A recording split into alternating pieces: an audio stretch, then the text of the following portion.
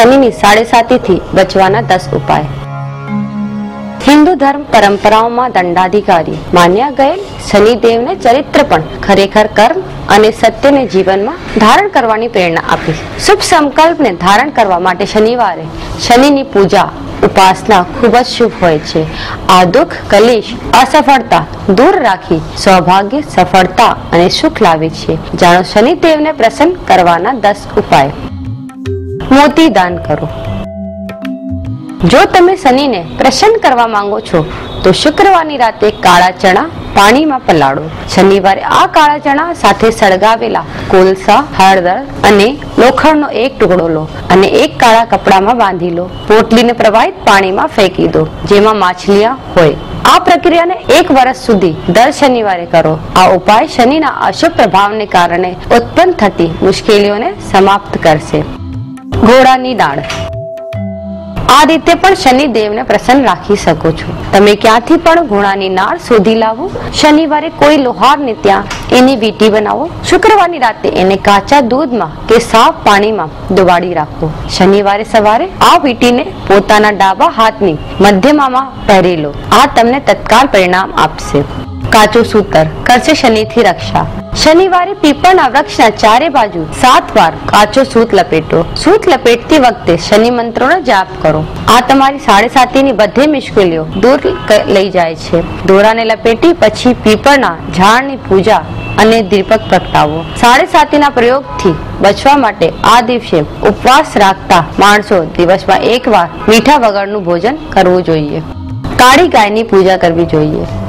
શનિદેવને તમે કાળા રંગની ગાયની પૂજા કરીને પણ પ્રસન્ન કરી શકો છો. એ માટે તમારે ગાયના માથા પર તિલક કરવું, એના શિંગડામાં પવિત્ર દોરો બાંધવો અને પછી ધૂપ દીપ કરવી. ગાયની આરતી જરૂર કરવી જોઈએ.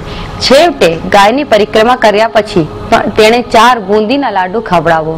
આ શનિદેવની સાડે સાતીના બધા પ્રતિકૂળ પ્રભાવોને રોકે છે. સરસવના તેલનો દીપક પ્રગટાવો. શનિવારની સાંજે પીપળના ઝાડ નીચે સરસવના તેલનો દીપક પ્રગટાવવો જોઈએ. તે પછી ઝાડના સાત ચક્કર લગાવવા જોઈએ. આ પૂજા પછી કોઈ કાળા કૂતરાને સાત લાડુ ખવડાવવાથી શનિ ભગવાન પ્રસન્ન થાય છે અને સકારાત્મક પરિણામ આપે છે. તો કરશે શનિને પ્રસન્ન. શનિવારના દિવસે તમે તમારા હાથની લંબાઈથી ઉન્નીસ ગણો લાંબો એક કાળા દોરા લો. એક તેને એક માળાનું રૂપ આપી તમારા ગળામાં ધારણ કરી લો. આ સારું પરિણામ આપશે અને ભગવાન શનિને તમારા પર પ્રકૃપાવાન વરસે. અને ખવડાવો રોટલી. કોઈ પણ શનિવારે લોટ, ચણામણ સાથે બે રોટલી બનાવો. એક રોટલી પર સરસવનું તેલ અને મીઠાઈ મૂકો. જ્યારે બીજા પર ઘી, પ્રથમ રોટલી તેલ અને મીઠાઈ વાળી રોટલી એક કાળી ગાયને ખવડાવી. એ બીજી રોટલી પણ તે જ ગાયને ખવડાવી. હવે શનિની કૃપાથી પ્રાર્થના કરો અને તેમની શાંતિ અને સમૃદ્ધિની કામના કરો. ત્રેયાલીસ દિવસ સુધી ચડાવો તેલ. શનિદેવને પ્રસન્ન કરવા માટે તમે ઉગતા સૂરજને સતત ત્રેયાલીસ દિવસ સુધી રવિવારે છોડીને શનિદેવની મૂર્તિ પર તેલ ચવડાવો.